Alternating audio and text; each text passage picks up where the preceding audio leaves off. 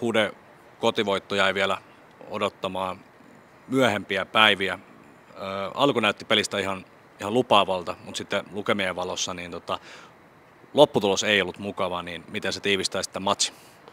No niin kuin sanoit, niin eka, tultiin mun mielestä peliin hyvin sisään, että eka kymppi, eka kymppi pelattiin hyvin ja sitten siinä tuli semmoinen pieni musta, musta pari, pari viisi minuuttinen, että hukku pari kaveria ja menettiin pari kiekkoa ja kaveri rankas, rankas ei tällä tasolla aika nopeasti niistä ja sitten se vähän ehkä latisti, latisti meidän meininkiä sitten ja siinä se toinen erä meni vähän, meni vähän tota, niin meiltä ohi, mutta sitten taas kolmanteen erään mun mielestä saatiin, saatiin taas hyvää drivea, mutta sitten se oli vähän tota, niin liian myöhään.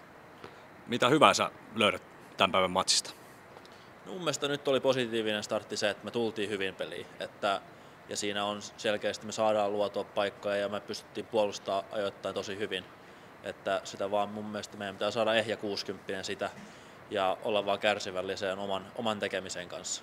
Mitä luulet, että huomenna reeneissä tehdään? No eiköhän me aika paljon tietysti tuota keskialueen, keskialueen ylittämistä ja sitten tietenkin kamppaillaan, että tämä on kuitenkin kamppailulajia ja tällä hetkellä me hävitään niitä enemmän, niin, tota, niin pitää alkaa niitä voittamaan. Kiitos Hude ja ei muuta kuin perjantaita kohti. Yes, kiitos paljon.